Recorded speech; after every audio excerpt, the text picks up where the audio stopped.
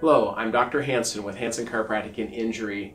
And are you suffering with or know somebody who's suffering with a disc herniation or what's commonly referred to as a slip disc?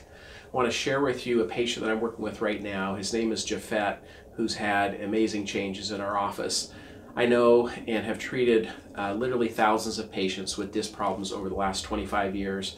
I personally had a severely injured disc from a car accident when I was a teenager, and so I understand what patients go through and also the best types of treatment that are, that are out there.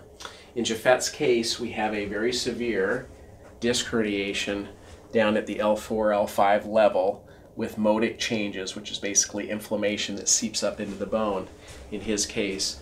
Um, he was brought to, to our office uh, literally in a wheelchair. Uh, we ended up referring him to a neurosurgeon who felt that conservative care is the best option for him.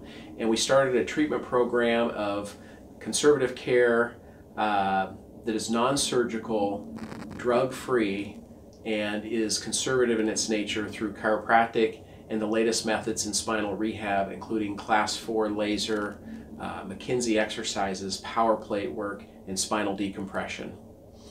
Uh, I'll share with you what, how we treated him, and if you uh, could use help in this area or know somebody that could, please give us a call. You can find us at everettpainrelief.com. Thank you.